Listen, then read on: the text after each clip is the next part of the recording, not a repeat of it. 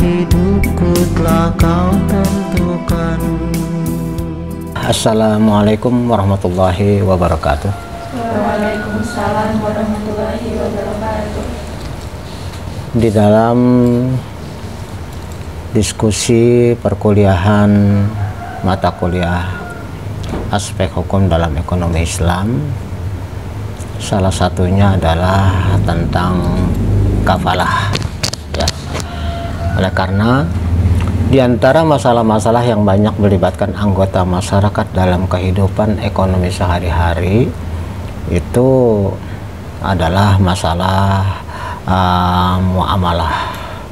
Muamalah ini menyangkut akad, menyangkut transaksi. Akad artinya suatu perjanjian dan transaksi artinya ada pertukaran.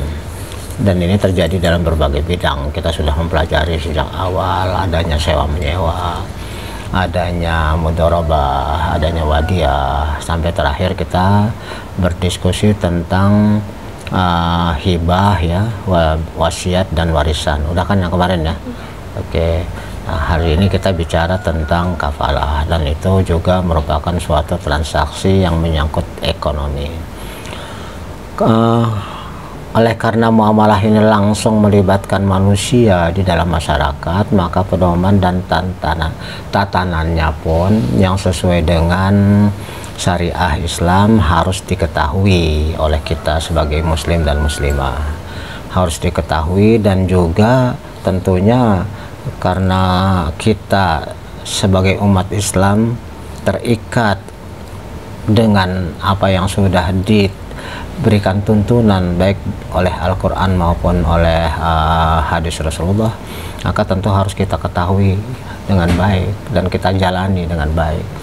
Sehingga dengan mengetahui itu semuanya uh, kita tidak melakukan penyimpangan terhadap apa yang sudah diajarkan apalagi melakukan pelanggaran ya di mana pelanggaran itu sendiri di dalam transaksi kehidupan ekonomi sehari-hari nah, itu akan bisa merusak hubungan antara satu sama lain. Dan juga karena melanggar apa yang sudah ditentukan dalam Al-Quran dan hadis maka itu akan berkonsekuensi kita akan melakukan satu kesalahan yang bermuara kepada dosa ya. Oleh karena itulah maka di dalam bermualah uh, harus ada suatu kesadaran yang tertanam dalam diri kita masing-masing sebelum kita melakukan kegiatan muamalah itu. Kita harus memahami bagaimana agama mengajarkannya lalu kemudian bagaimana kita bisa melakukan pengendalian diri agar tidak sampai melanggar dan bagaimana supaya kita bisa mematuhi ya sehingga kemudian nanti hal tersebut akan menjadi pengalaman yang pada akhirnya bisa kita uh, share baik kepada teman maupun kepada adik maupun kepada nanti keturunan-keturunan berikutnya dari kita ya. Ya. Dan itu semua kita tahu adalah dalam rangka pembentukan ahlakul karimah yaitu ahlak yang mulia yang dituntut oleh agama ya. Karena kita dalam berekonomi juga kan dasarnya adalah akhlak ya. Kita bolak-balik uh, apa uh, mengatakan bahwa di dalam agama Islam itu yang paling utama adalah masalah akhlak di mana akhlak itu juga akan berlaku di dalam uh, transaksi ekonomi ya saat ini kita akan membahas tentang akad kafalah ya. Uh, agar tentunya kita bisa mengerti lebih dalam dan juga mungkin kalau sebelumnya belum pernah mendengar istilah ini jadi kita akan mengetahuinya supaya nanti kita bisa bisa melakukan uh, aktivitas sesuai yang diajarkan yaitu dalam transaksi jamin menjamin atau tanggung menanggung menurut ajaran Islam. Apa artinya? Artinya ketika uh, saya menanggung uh, seseorang ketika seseorang itu melakukan suatu transaksi ekonomi kan kita sering nih dalam katakanlah kalau kita ngambil motor aja di leasing kan ada penjaminnya ya ya antara si leasing dengan si kreditor tapi si kreditor tuh bawa orang lain sebagai penjamin. Ya misalnya bapaknya atau siapa yang diharapkan nanti kalau misalnya terjadi sesuatu ya dengan si kreditur apakah dia lambat bayar sebagainya. Biasanya yang penjamin ini yang ditanya kan itu kan. Nah jadi Islam juga uh, mengatur masalah tersebut. Karena apa? Karena tentu diharapkan pihak pertama yang memberikan kredit itu jangan sampai diragukan diragukan eh sorry dirugikan. Dirugikan oleh pihak kedua yang memberikan atau yang melakukan uh, pinjaman tersebut gitu. Oke lah karena itulah maka kita akan membahas masalah uh, kafalah ini tapi sebelumnya tentu kita melakukan perkenalan diri terlebih dahulu silahkan mulai dari Fen Wulandari dari Fakultas Ekonomi dan Bisnis, Prodi Akuntansi dari kelas 1A Akuntansi. Perkenalkan nama saya Tatiana Berwati dari Fakultas Ekonomi dan Bisnis, eh, Prodi Akuntansi kelas 1A. Perkenalkan nama saya Kak Kurniasari dari Fakultas Ekonomi dan Bisnis, Prodi Akuntansi kelas 1A. Dan saya Anita Tini dari kelas 1A Akuntansi. Terima kasih. Baik, terima kasih semuanya. Kita akan mulai dengan membahas pengertiannya dulu. Apa itu kafalah? Al-kafalah merupakan jaminan yang diberikan oleh uh, penanggung atau KVI kepada pihak ketiga untuk memenuhi kewajiban pihak kedua yang ditanggung.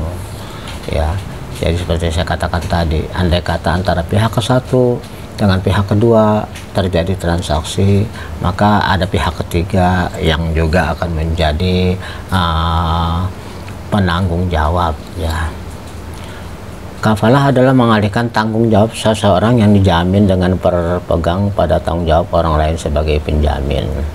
Ya, jadi artinya si pihak kedua ini bisa mengalihkan tanggung jawab dia kepada si uh, penjamin ya.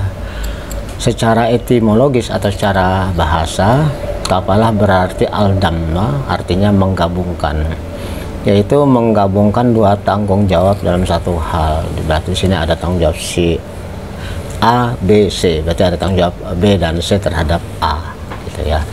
Hal ini sesuai dengan firman Allah dalam surat Al-Imran yang mengatakan uh, Allah menjadikan Zakaria sebagai penjamin dari Maryam. Kemudian di samping itu kafalah berarti hamalah atau beban dan za'amah atau tanggungan. Disebut daman apabila penjaminan itu dikaitkan dengan harta. Hamalah apabila dikaitkan dengan diat denda ya. Dalam hukum kisah nanti akan kita lihat ya. Zamah jika berkaitan dengan harta dan kafalah apabila penjamin dikaitkan dengan jiwa. Jadi ini uh, penjaminan dalam hal ini tidak hanya menyangkut masalah harta, tapi juga uh, penjaminan dalam uh, arti jiwa yang dikaitkan dengan jiwa. Ya. Nanti kita bahas. Secara terminologi, ya uh, kafalah adalah menggabungkan dua tanggungan dalam permintaan dan hutang. Definisi, definisi lainnya adalah kafalah itu jaminan yang diberikan oleh penanggung penanggung kepada pihak ketiga untuk memenuhi kewajiban pihak kedua yang ditanggung ya.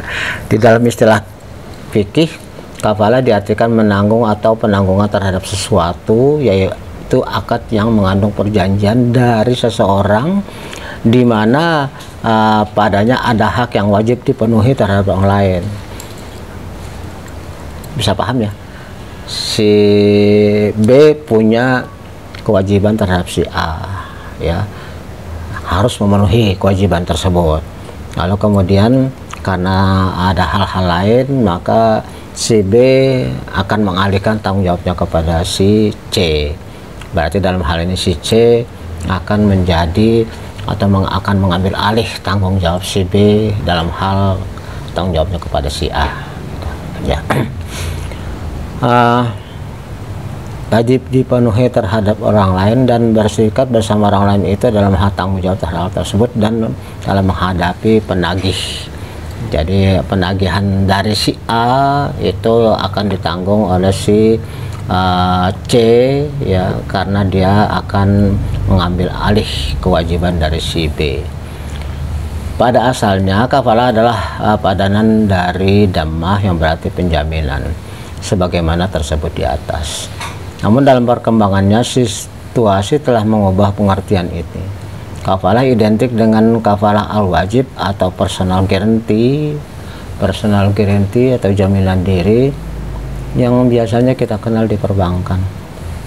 Ada orang minjem apa ke, kepada satu lembaga jaminannya itu bisa berupa harta bisa juga nama seseorang yang jadi jaminan. Misalnya kalau zaman dulu orang minjem ke bank atas nama Pak Harto gitu misalnya. Kan nggak nggak ada yang berani berkutik kalau atas nama Pak Harto. Ya orang udah langsung percaya gitu kan. Apalagi kemudian Pak Harto berani sampai nelpon dia eh tuh kasih pinjaman oh udah nggak bisa. Enggak itu udah nggak bisa ngomong apa apa lagi itu udah pasti terjadi ya itu berarti dalam hal ini personal guarantee.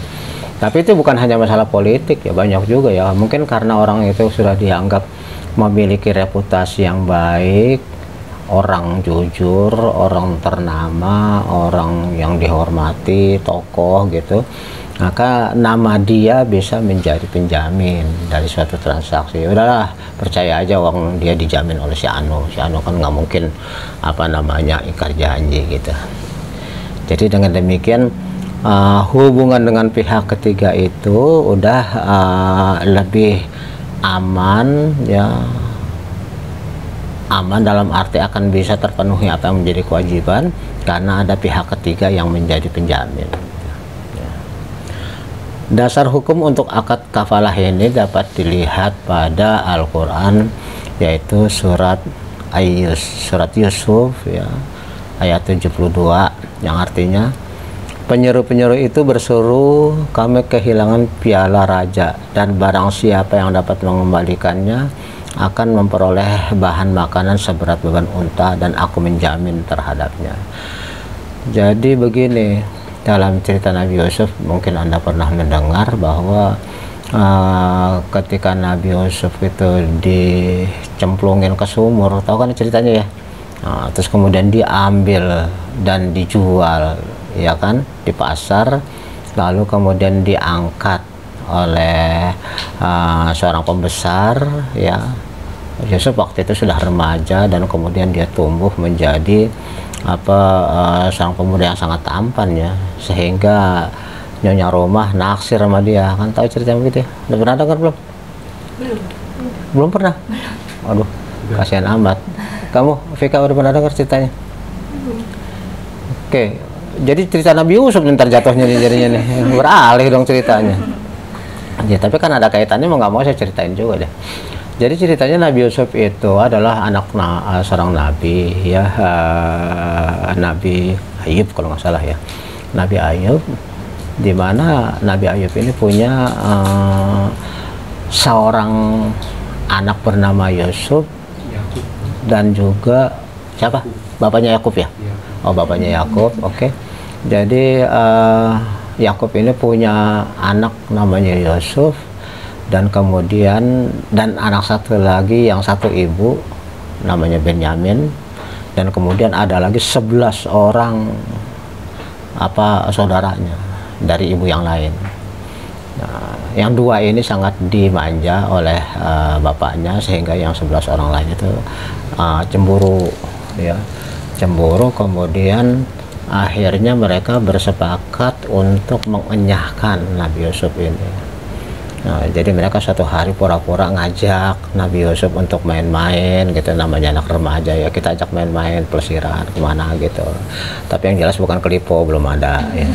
Nah, main-main. Nah, ya terus kemudian uh, ternyata di tempat itu di suatu tempat ya mereka melancarkan rencana jahatnya tadinya Yusuf pengen dibunuh.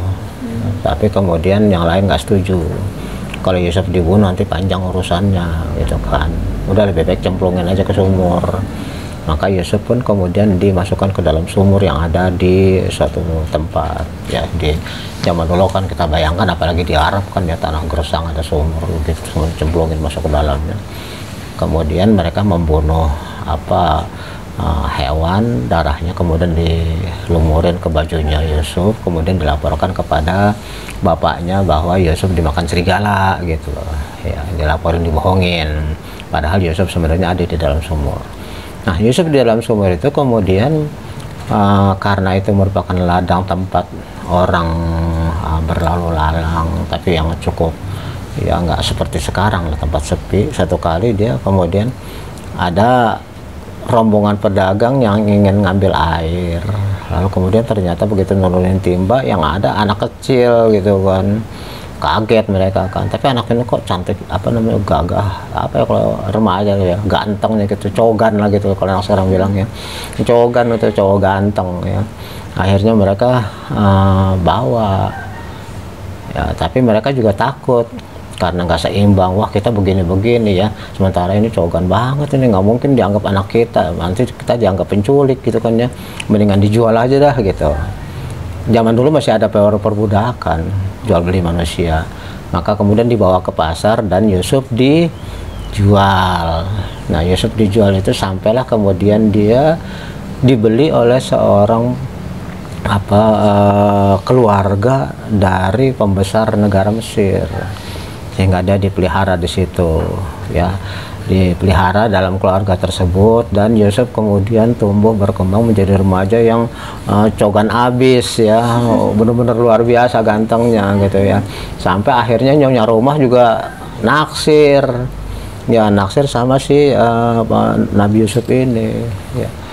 Lalu kemudian pada satu hari karena nggak ketahanan ya nafsunya saking wah luar biasanya tuh nah, maka Yusuf tuh pengen diajakin gitulah diajakin kamu ngerti lah bukan diajakin mencongkak bukan.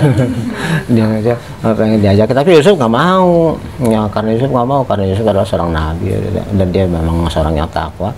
Maka kemudian ketika Yusuf lari dari pelukan wanita tersebut maka kemudian bajunya itu gamisnya itu ketarik sampai robek sama si perempuan yang udah horny istilahnya ya. udah ngebet banget ya udah ngebet banget Nah, nah, pada saat dibu ditarik itulah, kemudian suaminya datang, suami si perempuan ini, dia mendapati ada dua orang di kamar, apa-apaan nih, gitu kan ya. Wah, lalu kemudian mereka marah. Nah, kemudian si perempuan ini memfitnah, perempuan ini namanya Juleha memfitnah, katanya Yusuf yang pengen memperkosa dia, padahal ke keadaan sebaliknya sebenarnya. Ya, maka kemudian ada uh, penasehatnya mengatakan coba aja lihat uh, kondisi robekan baju. Kalau memang robekan bajunya ada bagian depan berarti kamu yang benar Juleha. Tapi kalau misalnya kondisinya ada di belakang berarti kamu yang salah gitu. Logikanya gitu kan. Ya robekannya ada di mana dulu? Ternyata begitu dilihat robekannya ada di uh, bagian belakang. Maka kemudian udahlah kata bapak pembesar itu kali ini saya maafkan tolong jangan diumbar jangan di ini ya jangan sampai apa uh, dibesar-besarkan malu aib itu tapi yang namanya sasus ya uh, rupanya tersebar juga itu berita itu tentang ada upaya seperti itu. Akhirnya nama si Juleha kan jadi jelek ya. Hmm. wah ini udah jadi pembesar bini pembesar negara ternyata mau sama jongos gitu kasarnya ya. Karena statusnya kan di Yusuf di situ memang jongos ya pembantu istilahnya begitu ya. Statusnya pembantu. Wah ini gimana sih? Wah akhirnya panas kan Juleha oh, digosipin kayak gitu. Belum tahu dia kayak Yusuf kayak apa gitu ya. Akhirnya dikumpulkan. Dia bikin suatu resepsi di mana kemudian di meja makan itu ada buah dan ada pisau masing-masing tempat. Ya cewek-cewek ini ibu-ibu yang suka pada ngerumpi itu yang pada ngegosip ya tentang Juleha itu ngebet sama pembantunya begini-begini. Kan karena mereka belum tahu Yusuf ya sangkanya Julehanya yang kelewatan kan. Akhirnya begitu mereka di, sampai pada sesi dessert kali ya sekarang ya. Sesi makan buah gitu ya sebagai penutup Yusuf disuruh keluar melewati mereka ya begitu Yusuf keluar itu ibu-ibu pada terkagum-kagum ngelihat kegantengan cowok gantengnya nih yang luar biasa. Sampai nggak terasa ya bukan buah yang di yang dipotong jarinya yang dipotong-potong gitu. Jarinya pada berdarah-darah.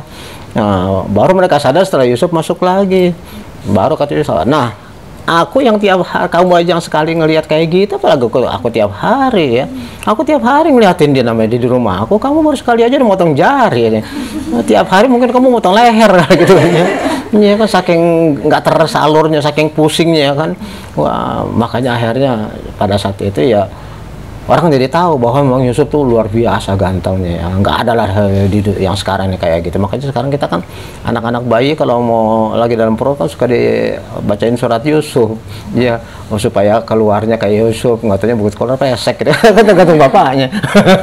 Tergantung bapak ibunya. Kalau bapak ibunya jelek ya bagaimana anak jadi keluar kayak Nabi Yusuf kan? Ya akhirnya Yusuf melihat uh, kondisi kayak gitu dia memilih udahlah saya nggak usah dipusingin saya minta di penjara aja deh. Untuk menghilangkan fitnah jangan sampai nanti uh, kan sekarang Juleha ini namanya yang jadi jelek nih karena terbukti. Udahlah demi apa namanya uh, salah satu kan ibu angkatnya kan. Ibu angkatnya walaupun masih muda juga masih muda. Ya atau kemudian udahlah saya minta di penjaranya. Ah Yusuf kamu di penjara Yusuf masuk penjara Terus kemudian Yusuf masuk penjara, di dalam penjara itu ternyata juga ada orang-orang yang sama senasib di penjara. Ada dua orang, ya. Salah satunya adalah seorang laki-laki, eh dua, dua, orang laki-laki, salah satunya apa namanya ngomong, mim- saya mimpi, saya mimpi apa namanya eh, sedang apa motong-motong roti, lalu kemudian roti itu di, saya taruh di atas kepala saya, kemudian ternyata dimakan burung roti saya itu gitu. Terus yang satu lagi apa bermimpi eh, memerah anggur memerah anggur untuk jadi minuman. Lalu mereka nanya kepada Yusuf karena Yusuf memang ini adalah seorang penabir mimpi. Ya dulu waktu awal sekali kenapa bapaknya tuh wanti-wanti jangan sampai dicelakain saudaranya karena dia mimpi. Dia bermimpi Yusuf berita, eh, bercerita kepada bapak ya bapak saya semalam mimpi mimpi apa? Saya mimpi ada 11 bintang ya bulan matahari semuanya sujud sama saya Ya aku pada waktu itu udah langsung tahu oh, ini ini anak saya ini nabi juga ini udah dapat firasat kayak gitu. Jangan cerita cerita jangan cerita cerita kalau kamu tahu sampai cerita saudara kamu saudara kamu pasti mencelakakan kamu. Ternyata walaupun nggak diceritain celakain juga ya apalagi dia, dia- dia ketahuan begitu. Nah ternyata sekarang Yusuf dapat ini lagi tentang mimpi. Nah, lalu dikatakan oleh Yusuf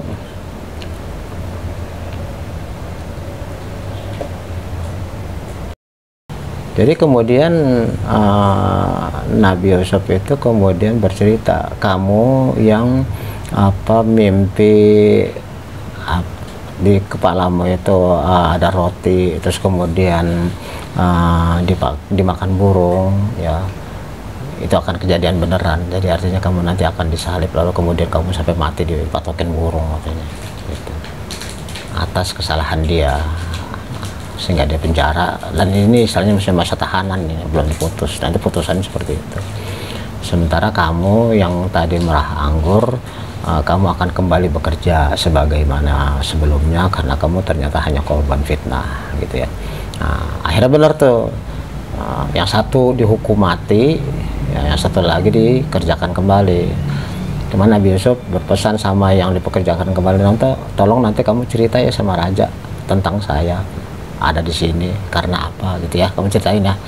ya cuman iblis sengaja bikin dia lupa gak ingat dia. Udah lupa sama sekali. Padahal dia udah kerja lama bertahun-tahun gak ingat dia.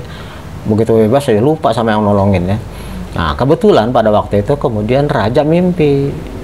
Raja bermimpi dia melihat ada eh, tujuh tangkai gandum yang hijau segar gitu. Kemudian juga dia melihat ada tujuh ker- sapi yang kurus kering. Ini maksudnya apa ini? Ya. Terus kemudian eh, tanya sama pembesar-pembesar negara siapa yang bisa mengetakwilkan atau mengartikan mimpi ini nggak ada yang bisa.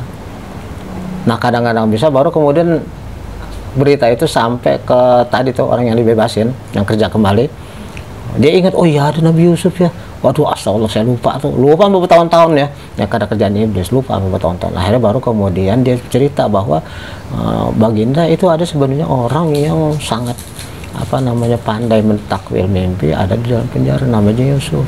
Coba kamu panggil gitu ya.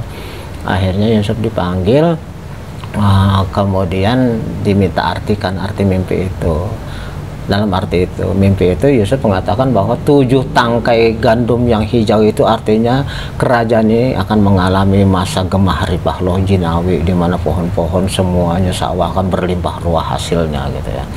Tapi tolong disimpan sebagian jangan dihabiskan karena tujuh tahun berikutnya kamu akan mengalami masalah kekeringan yang luar biasa selama tujuh tahun jadi dibagi-bagi jangan sampai uh, dikonsumsi semua gitu. Jadi tujuh tangkai gandum yang hijau artinya masa kemasan uh, tujuh sapi yang kering ini berarti uh, masa paceklik gitu ya. Nah, akhirnya kemudian raja menuruti dan raja kemudian menanyakan sebenarnya kasus Yusuf ini apa? Kenapa kok bisa dipenjara kelihatannya ini orang baik kok bisa dipenjara gitu ya. Nah Yusuf pun bercerita lalu kemudian dipanggil juga uh, uh, si apa Siti Juleha itu ya. Uh, kemudian dipanggil juga suaminya. Tapi kemudian suaminya ternyata pada waktu itu sudah keburu wafat ya. Jadi panggil Juleha aja. Nah akhirnya kemudian uh, si uh, Nabi Yusuf ini kemudian diangkat menjadi pembesar negara karena keahliannya. Jadi panggil Juleha kemudian ya memang dasar jodoh ya kesampaian juga cita-citanya. Jadi ya, ya, ya, istrinya Nabi Yusuf. Alhamdulillah gitu kan karena udah udah udah sekian lama nungguin ya, ya akhirnya kecap apa tercapai juga. Kan tentu dia bahagia sekali ya Juleha itu. Jadi jadi akhir jadi istrinya Nabi Yusuf juga. Nah terjadilah masa paceklik yang tujuh tahun itu masa paceklik tujuh tahun itu kemudian sampai juga melanda negeri tempat bapaknya Nabi Yusuf. Ya dan saudara-saudaranya. Dan mereka kemudian saudara-saudaranya itu mengutus mengutus apa uh, eh, 11 orang. Itu jadi sebenarnya 10 11 sama sama ini sama Benyamin. Jadi 12 sama Nabi Yusuf gitu maksudnya bukan 13 ya 10 saudaranya yang uh, tiri ya 11 dengan Bunyamin tapi yang datang ini 10 doang. Bunyamin nggak dibawa karena nggak diboleh bapaknya nggak percaya udah ntar lo bikin celaka lagi. Dulu Yusuf dibikin celaka nggak ada makan serigala lah katanya gitu kan. Ntar kalau kamu bawa lagi Bunyamin aku kehilangan semuanya dong gitu. Padahal 10 tuh memang dalam hal ini uh, Nabi Yakub lebih cenderung sama dua anaknya yang itu gitu ya sama yang lain nggak begitu ini. Akhirnya datang tuh 10 orang ya Nabi Yusuf kenalin dong itu 10 orang saudaranya. Tapi yang ini nggak kenalin nggak kenalin. Ya memang udah dibikin seperti itu nggak kenalin bahwa itu sebenarnya Yusuf. Adanya mereka celakakan dulu. Karena mereka kan beranggapan Nabi Yusuf udah mati dalam sumur kan. Oh, apalagi udah baru udah istilahnya sekian lamanya kita Nah inilah keluar uh, ayat ini yang tadi itu. Kenapa? Nabi Yusuf kemudian ketika saudara-saudaranya mau pulang balik ke negerinya di antara uh, apa makanan karung-karung makanan itu itu diselipin satu bokor apa ya seperti apa gitu gelas gitu ya.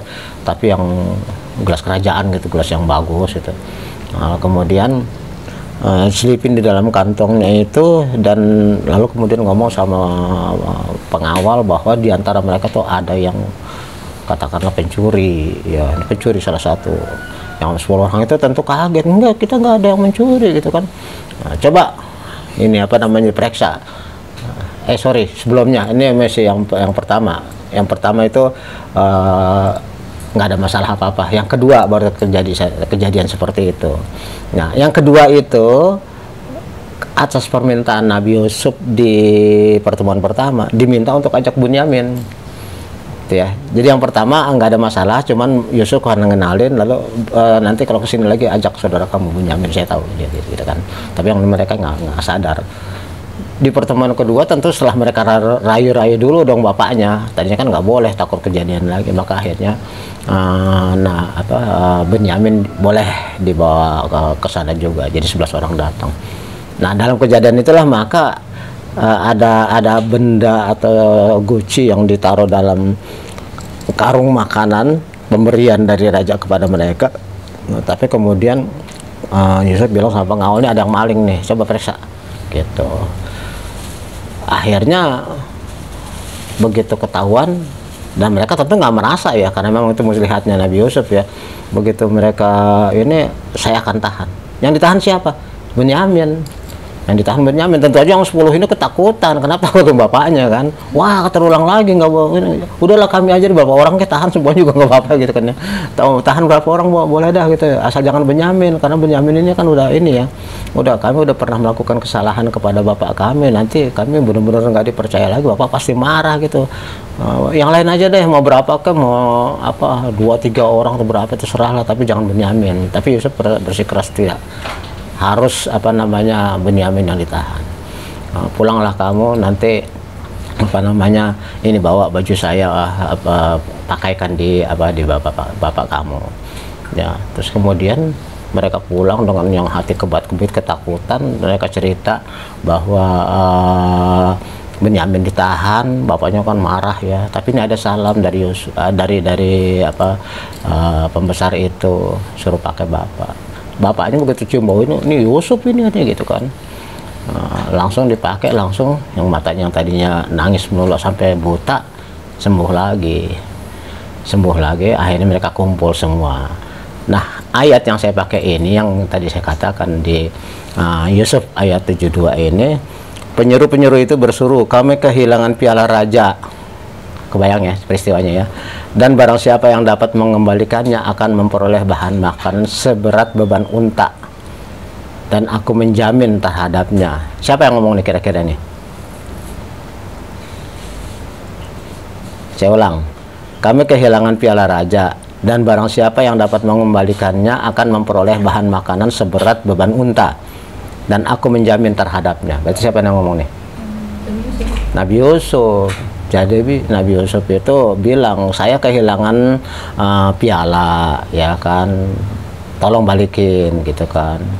Uh, nanti akan mendapat uh, beban makanan dan aku akan yang aku yang menjamin terjadinya pemberian itu gitu jadi artinya dalam kajian atau dengan kaitan dengan kuliah kita berarti adalah bahwa seseorang bisa melakukan sesuatu menjaminkan diri dirinya sendiri supaya sesuatu itu terjadi gitu ya.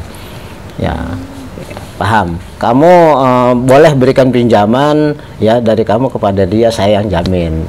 Saya yang jamin artinya dia pasti orang baik, dia pasti akan memberikan jaminannya saya deh gitu. Itu namanya dalam bank personal guarantee ya personal guarantee bisa, bisa dalam konteksnya adalah jabatan bisa juga karena dia orang yang ber apa berpengaruh orang yang seperti itu. Kan Yusuf sebagai seorang apa ya bendahara negara. Bendahara negara kalau mengatakan saya jamin akan memberikan makanan. Ya orang juga ini dong langsung percaya. Ya kalau yang yang ngomong pengawal belum tentu dipercaya. Pengawal dari mana gitu. Tapi kan yang ngomongin adalah seorang bendahara negara ya tentu jadi dipercaya gitu jadi intinya bahwa eh, masalah penjaminan seperti ini di dalam Islam dibolehkan ya. Baik itu sifatnya menjaminkan hartanya maupun menjaminkan karena nama baiknya, karena kedudukannya, karena pengaruhnya ya. Nah, kemudian dalam hadis Nabi riwayat Bukhari telah eh, disebutkan telah dihadapkan kepada Rasulullah SAW jenazah seorang laki-laki untuk disolatkan. Rasulullah kemudian bertanya, apakah ia mempunyai hutang? Sahabat kemudian menjawab tidak, maka beliau mensolatkannya. Kemudian dihadapkan lagi jenazah lain. Rasulullah bertanya, apakah ia punya hutang? Kemudian sahabat menjawab, iya. Rasulullah berkata, sholatkanlah temanmu itu. Eh, tapi beliau sendiri tidak mau mensolatkannya. Lalu Abu Qatadah berkata, saya menjamin hutangnya ya Rasulullah. Maka Rasulullah baru mau sholatin. Paham di sini ya. Jadi eh, ada orang yang mau disolatin tapi kemudian ditanyain dia punya utang Rasulullah nggak mau karena masih ada beban utang. Begitu ada yang bilang saya nanti yang bayar utangnya. Baru Rasulullah mau. Jadi berarti di sini uh, penjaminan utang seseorang. Kenapa? Karena Rasulullah artinya kan dia bukan menjaminkan hartanya ya bukan Rasulullah yang yang yang memberikan jaminan harta tapi sebagai kedudukannya. Dan tadinya beliau belum mau mensolatkan tapi begitu ada orang yang bilang saya yang bayar utangnya baru Rasulullah mau jauh bayar utangnya gitu. Ya paham? Eh, Cil tolong dicek yang rombongan berikutnya udah datang belum? Yang datang. coba dicek deh lihat ya suruh tunggu dulu sebentar. Eh, jadi artinya eh, kaidah fikih itu berarti bahaya itu harus dihilangkan supaya sesuatu bisa dilakukan karena ada penjaminannya. Oke. Nah, berarti dalam hal ini sekarang yang berikutnya adalah rukun kafalah. Rukun kafalah itu seperti biasa kan ada pihak yang menjamin, ada pihak yang berhutang, ada pihak yang berpiutang dan ada objeknya tempatnya. Ada orang yang ngutangin, ada orang yang ngutang, ada yang di eh, apa barangnya atau hartanya dan ada yang menjamin. Itu berarti rukunnya empat. Dan kemudian itu eh, rukunnya syaratnya adalah eh, tentunya orang yang menjamin itu ya harus orang yang sudah balik baliknya sudah berakal ya kemudian juga dia memiliki kekuasaan atas uh, uangnya. Jadi artinya uangnya sendiri dia pegang. Si penjamin itu memang uang. Jadi bukan berarti dia menjaminkan tapi uangnya uang orang itu kan. Dia menjamin. Itu nggak boleh seperti itu. Saya jamin bayarin dia tapi uangnya ada ada sama dia. Bukan uang saya. Ya sama aja bohong itu kan berantai jadinya. Harus uang saya supaya bisa menjamin kamu gitu. Ini ya. Ani kan benar namanya. Ani oke. Terus kemudian eh, artinya bahwa yang kedua adalah madmun. Lah artinya eh, piutangnya itu diketahui oleh orang yang menjamin. Jadi artinya kamu ngasih tahu saya. Saya yang menjamin utangnya dia. Tapi besarnya saya tahu dari kamu bukan dari dia aja. Takutnya udah dibayarin kemudian dia gede-gedein lagi ngutangnya cuman sepuluh seribu dia bilang sama saya utang 1500 padahal nanti saya bayarin 1500 bayar ke sini cuma 1500 diambil media. Kan curang namanya tuh udah ditolong malah malah nyari untungnya menang banyak berarti dia kan gitu.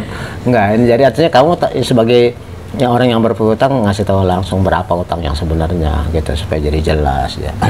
Kemudian pastinya juga ada ada syirat ya. Dalam transaksi Islam kan selalu ada syirat. Ada ada ucapannya ada ada ijab ada kabulnya gitu ya. Berarti ah, saya akan membayarkan utang atas nama si A kepada anda gitu.